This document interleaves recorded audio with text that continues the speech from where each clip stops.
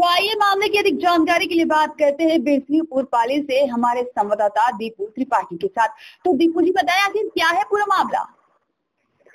जी, मैं आपको बताना चाहूँगा, ये उमरिया ज़िले के बिरसिंहपुर पाली और शहडोल मुख्य मुख्य एन सड़क मार्ग में आए दिन वन्य जीवों की मौत, सड़क दुर्घटना में होती थी, जिसको लेकर के वाइस अपराइट ने प्रमुखता से बीते दिनों खबर का प्रसारण कर शासन और प्रशासन का ध्यान आकर्षण कराया था।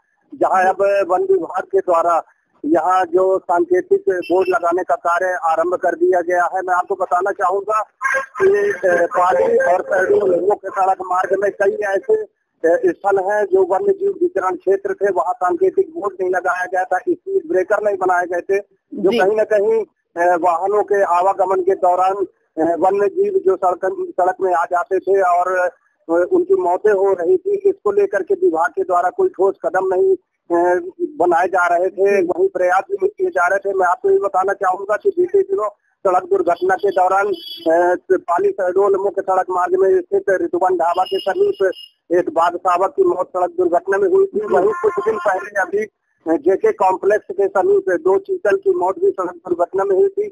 यह बात भी आई इस बात सामने आ रही है कि विभाग इस घटनाओं को लेकर के तत्काल इसमें कार्यवाही करते हुए अब सांकेतिक बोर्ड लगवाने का काम आरंभ कर दिया है। वही स्पीड ब्रेकर भी जगह जगह बनवाने का प्रयास कर दिया उनके द्वारा।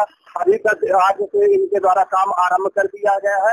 वही इस संबंध में वन क्षेत्राधिकारी गुनगुटी एपी त्रिपाठी से हमारी बात हुई है, जहाँ उनके द्वारा ये कहा गया है कि ऐसे अंधे मोड़ जो शहडोल और पाली सड़क मार्ग में अंधे मोड़ पड़ते हैं जो पहाड़ी क्षेत्र होते हैं, उन पहाड़ों को भी काट करके और सीधा करने का प्रयास किया जाएगा, क्योंकि आवागमन के दौरान जो वाहन चालकों को सड़क में वन्य जीवों के होने की जानकारी नहीं हो पाती तो वो पहाड़ कटने से उनको सीधा मार्ग दिखेगा और वन्य जीवों की जो सड़क दुर्घटना में मौत हो रही है, उसको रोका जा सकेगा। जी।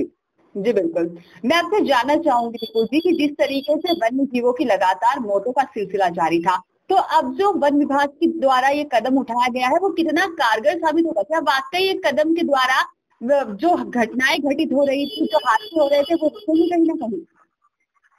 जी, मैं बताना चाहूँगा, आपको निश्चित ही ये कारगर साबित होगा, क्योंकि जैसे ही क्षेत्र में बाहरी लोग प्रवेश करते हैं तो सांकेतिक बोर्ड के माध्यम से उनको ये जानकारी लग सकती थी कि ये वन्य जीवों का जो वितरण क्षेत्र है तो कहीं न कहीं वो नियंत्रित होकर के वाहन चलाएँगे क्योंकि सड़क जब से यहाँ निर्माण हुआ है तो यहाँ जो वाहनों की रफ्तार है उन रफ्तार रफ्तारों में कमी होती नहीं दिखाई दे रही थी बोर्ड लगने से और जो ब्रेकर बन रहे हैं उन ब्रेकरों से वाहनों का जो नियंत्रण है वो नियंत्रण है वो कम होगा और जो स्पीड है उनकी वो भी कम होगी। तो कहीं ना कहीं जो अचानक वन्य जीव सड़क पे आ जाते हैं वाहनों पे में नियंत्रण नहीं हो पाता तो ये बोर्ड और ये पहाड़ी जो कटाने की व्यवस्था करा, कराई जा रही है स्पीड ब्रेकर बनाए जा रहे हैं वो निश्चित ही कारगर साबित होगा। जी। जी बिल्कुल।